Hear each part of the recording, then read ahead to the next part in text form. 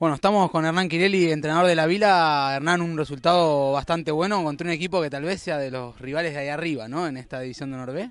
Sí, un equipo muy duro, muy peligroso. Eh, más allá de que el resultado por ahí parece un poquito amplio, San Cugat lo dejas jugar un par de pelotas, te meten dos, dos tries, dos ensayos y se te vienen arriba terriblemente. Así que hasta el último segundo estábamos ahí que termine ya porque sabemos, el año pasado nos tocó un partido similar y se largaron a jugar con el, con el tantador abajo, se largaron a jugar, se venían de todos lados y la verdad que juegan muy bien, cuando les salen las cosas juegan muy bien. Así que sabíamos de la peligrosidad del partido, nosotros también intentamos jugar, hoy quizás cerramos un poquito más el juego por una cuestión del rival que por ahí... Algo lógico, eh, ¿no? Sí, algo lógico también hay que jugar con eso, pero bueno, con, muy contentos, pero igual, no hay que seguir trabajando, no, no, se ha ganado nada todavía. Próximo partido Las Abellas, ¿y cómo sigue esta, esta temporada para, para la Vila? El objetivo está claro, ¿no? El ascenso. Bueno, el objetivo ahora es jugar la fase de ascenso, sinceramente. El próximo partido jugamos con Fénix, eh, con Buc, perdón, en Barcelona, con Buc en Barcelona. Eh, el objetivo es jugar la fase de ascenso. El año pasado por un puntito se nos fue, por un problema que tuvimos también que nos quitaron un punto, no, no, no pudo ser.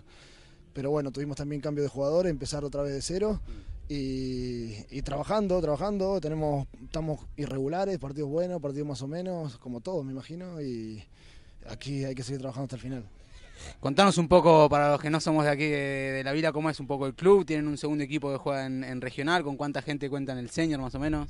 Sí, tenemos un, un segundo equipo en regional. La verdad que es un pueblo chico, un pueblo de 25.000 habitantes, nos cuesta. Pero bueno, este año han subido algunos chicos juveniles. El segundo equipo está en tercera regional. Eh, eh, han jugado ya un partido, chicos con mucho entusiasmo. Entrenamos todos juntos, entrenamos todos juntos por un lado se complica a veces por la diferencia de nivel, pero es, el, digamos, el, objetivo del club es ese, que estemos todos juntos para que no se motive nadie.